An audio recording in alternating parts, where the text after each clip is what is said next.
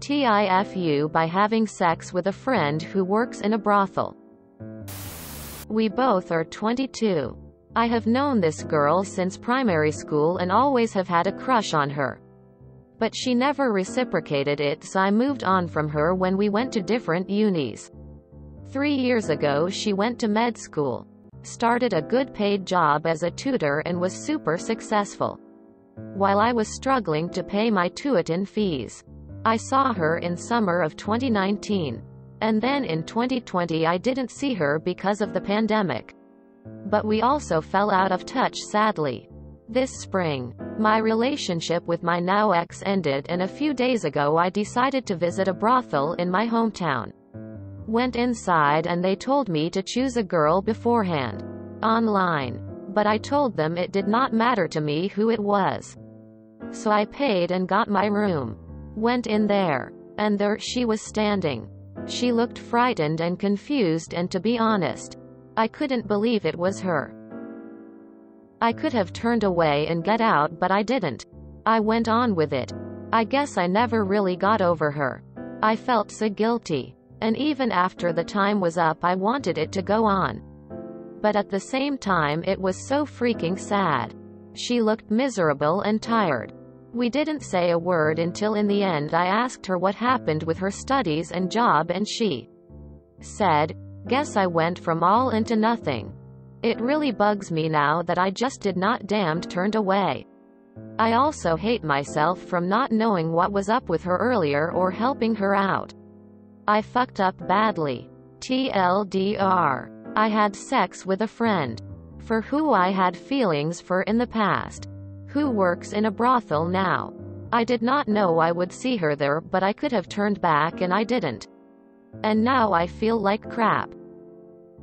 Update. I already mentioned in the comments that I sent her an apology over text and if I could help her in. Anyway, she replied back to me with this. I got her consent of posting it here. I just could reply to you now. As you already noticed by now. I switched careers. Was it my choice? Not really. Due to anorexia, bulimia, and a depression I had to stop medical school and my tutoring job. I ended up without anything and found that working in this brothel would earn me enough money to take care of myself and my mom. This job is just so physically demanding. To satisfy every man every half an hour or sometimes even more that I really am starting to feel burned out again. I thought stopping mental work would save me. But this is so much more difficult to maintain. That is why I looked that way. I am not hurt with you coming in yesterday and with everything that happened. You were a client at that moment and I could refuse you. But I didn't. Did you know why? Because all the guys who come in and touch me don't give a damn about me. They just want the deed to be done. At least I know you do. You do give a damn about me.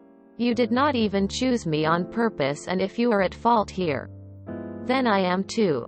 I don't need help but thanks for the offer. Let's not make all of this change our friendship and go on like our older days. I still want to pursue my studies and when I said from all into nothing. I hope I can turn it around again one day. Hope you are well. Most stories on here are light-hearted. Funny little anecdotes that make me smile but holy fuck this made me speechless. Perhaps reach out to her again. Wait. So you went in and saw her and was just like, oh hey. So are we doing this or what? Quote. How was that not awkward AF at the time? How did you go through with it? I really don't know how you could have gotten hard seeing her like that and knowing her backstory. But to each their own. Oof. Yikes. This is really fucked up. Ah. That sucks. I remember once going to the strip club with some friends. And I saw a coworker's, semi-friend's wife dancing there.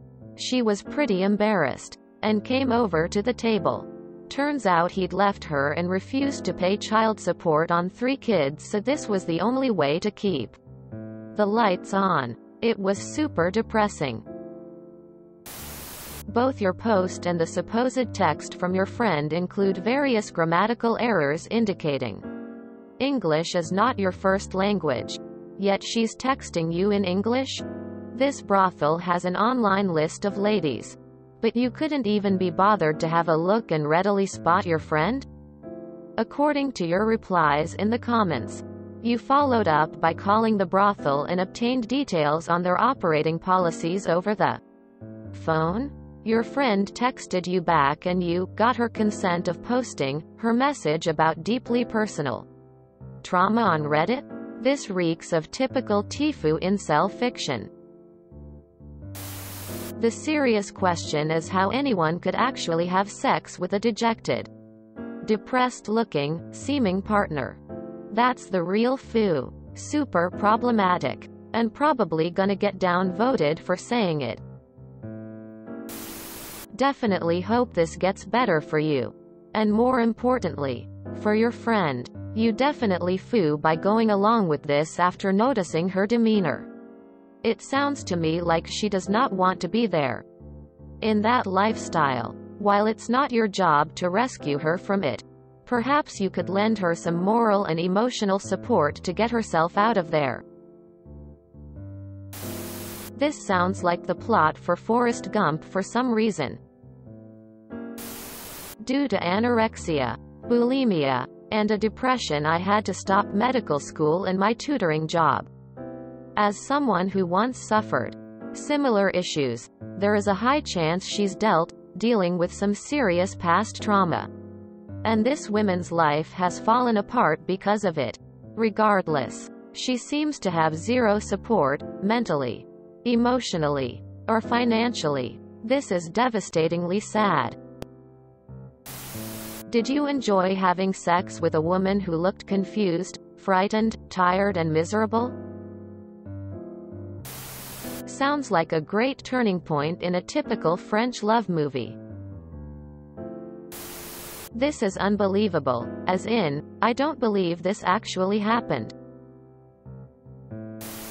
Don't have sex with people who look frightened. There is no way I could have had sex with her in that situation. To me, it would have become an, oh my god, what's happened and how can I help? I'm having trouble believing you went through with it. I'm asking myself, what sort of monster would do that? Am I crazy? All these people having sex and I'm laying here nutting on my stomach and falling asleep alone. Every night. Wow. Now that's a fuck up. Not judging your friend for her chosen profession. If you enjoyed this video, please check out our playlists full of similar content. Epicaricast is like doom scrolling for your ears. Please like, share, and subscribe.